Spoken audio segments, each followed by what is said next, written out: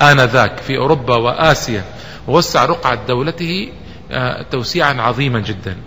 آه، وأخاف ملوك أوروبا إلى الدرجة أنه لما بلغت وفاته البابا آه، في الفاتيكان أقام الأفراح ودق الأجراس في روما ثلاثة أيام فرحا بموت محمد الفاتح.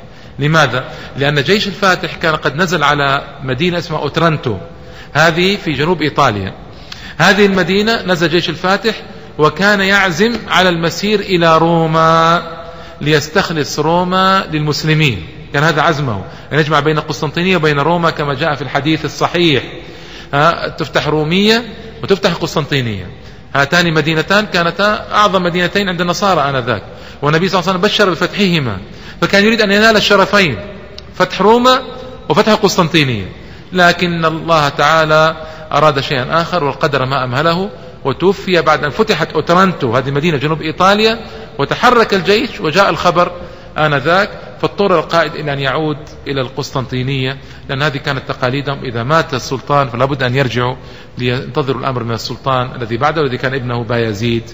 آه الثاني فالرجل كان فاتحا وكان محبا للإسلام ناشرا له بشكل كبير وكان الإسلام رائده في كل تحركات الصرفات. وذكرت لكم شعره كيف كان يدافع عن الإسلام في شعره ويتمنى ويحب الجهاد في سبيل الله تعالى بكل ما أوتي من قوة.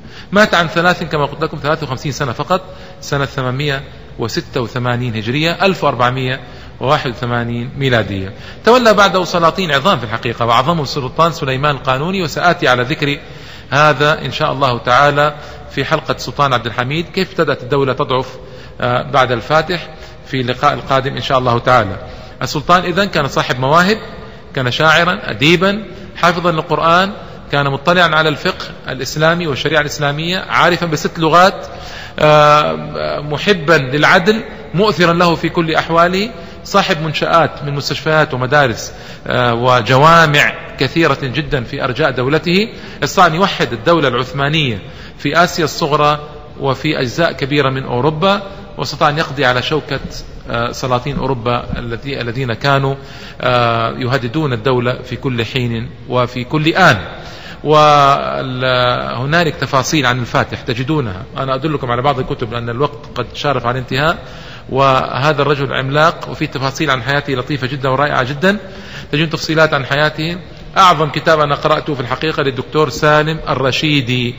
دكتور سالم الرشيدي عن محمد الفاتح في تفصيلات رائعة ورسالة دكتوراه جميلة جدا ومتميزة بذكر المصادر والوثائق الأوروبية التي كان المؤرخون للأسف الشديد كانوا متعصبين بقوة ضد الفاتح ومن أعظم الدراسات دراسة همر النمساوي الذي ظل فيها ثلاثين سنة يدرسها شخصية الفاتح يدرسها مدة ثلاثين سنة لكن للأسف يعني كان رجلا متعصبا ومنحازا لقومه ودينه بشكل فج فكتب أكاذيب كثيرة عن السلطان محمد الفاتح لكن فيها وثائق جميلة جدا أخذها حتى من المكتبات العربية والإسلامية هذا همر وهي ترجمة طيبة استعان بها آه، سالم الرشيدي في رسالة الدكتوراه واستعان بوثائق كثيرة جدا أجنبية وعربية. أدلكم على هذا الكتاب لترجعوا إليه. هو كتاب جيد. الأستاذ آه، زياد محمد علي الأردني له كتاب عند السلطان محمد الفاتح. الدكتور محمد حرب رئيس القسم العثماني دراسات عثمانية في القاهرة له كتاب عن العثمانيين والحضارة. ذكر فيه محمد الفاتح في أكثر من فصل ذكرا عاطرا جميلا. ارجعوا إلى هذه الكتب فهي تعطيكم صورة فذة عن هذه الشخصية الكبيرة التي مدحها النبي الأعظم صلى الله عليه وسلم بقوله لتفتحن القسطنطينية فلنعم الجيش ذلك الجيش ولنعم الأمير ذلك الأمير هذا الحديث الذي تشوفت نفوس الصحابة رضي الله عنهم والتابعين ومن تبعهم مدة ثمانية قرون. كل يريد أن ينال هذا الشرف ادخر الله تعالى هذا الشرف للفاتح. وبعض العلماء المسلمين يقول إنه آه، هنالك فتح آخر الأحاديث تشير فتح آخر القسطنطينية في آخر الزمان لا يمنع. هم بعض العلماء يقولون هذا ليس الفاتح هو المقصود بفتح القسطنطينية وهذا السلطان العثماني. أقول هذا فهم لعله يكون فهما خاطئا. القسطنطينية تفتح مرتين فتحت مرة في زمان الفاتح ونال شرف الحديث النبوي وستفتح مرة أخرى في آخر الزمان وسيجري فيها ملحمة كبيرة بين الروم وبين المسلمين. متى هذا؟ كيف هذا؟ الله تعالى أعلم بمتى سيكون.